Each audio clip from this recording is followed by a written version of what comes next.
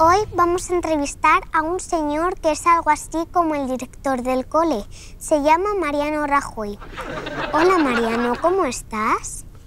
Buenas noches, Ana. Encantado de estar aquí en tu programa. Antes de empezar, vamos a ver la opinión que tienen los niños de mi cole sobre Mariano.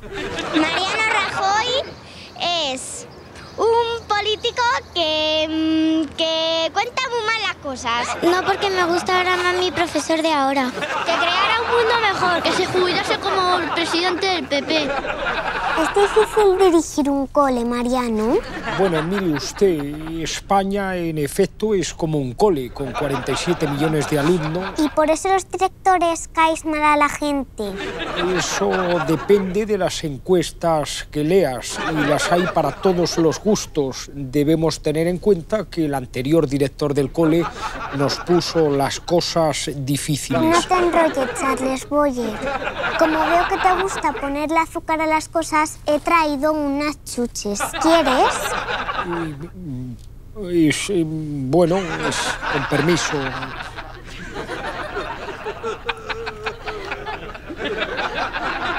¿Y me va a seguir preguntando? Espera, que estoy masticando. Y mire usted, tanto dura la chuche. Me he gastado toda mi paga en estas chuches. El curso pasado, con la mitad de la paga, podía comprarme el doble de gominolas. Eso es, eh, sin duda, por el IVA de los chuches. Eh, eh, no hemos tenido más remedio que hacer algunos sacrificios. Déjate de es- cuentos, Mariano. Veo que no te has estudiado este tema para el examen. Así que vamos a hablar de otra cosa. de alguna otra cosa.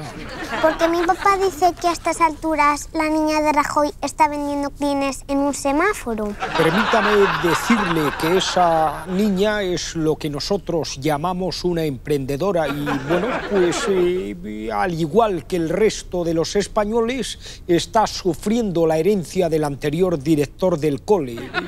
Mire usted. Pero si la niña tiene herencia de un director, ¿para qué le hace falta vender cosas?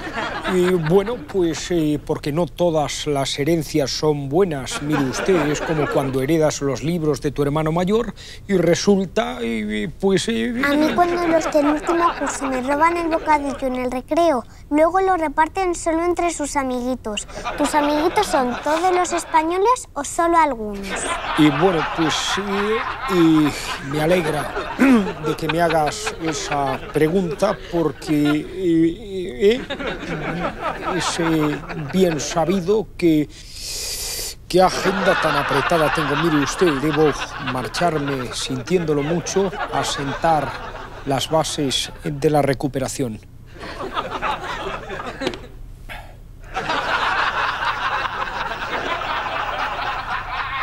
Te has dado cuenta tú también, ¿no?